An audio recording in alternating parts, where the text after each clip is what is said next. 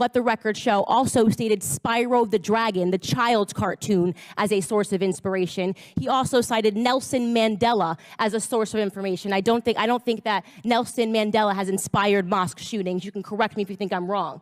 You, are, you would rather assign meaning to a homicidal maniac than to actually address that I said to, the things that I said today that are actually harming black America. Number one, father absence. Number two, the education system and the illiteracy rate. Illegal immigration ranks high, abortion ranks high, white supremacy and white nationalism, if I had to make a list again of 100 things, would not be on it. This hearing, in my opinion, is a farce. And it is ironic that you're sitting here and you're having three Caucasian people testify and tell you what their expertise are. Do I know what my expertise are?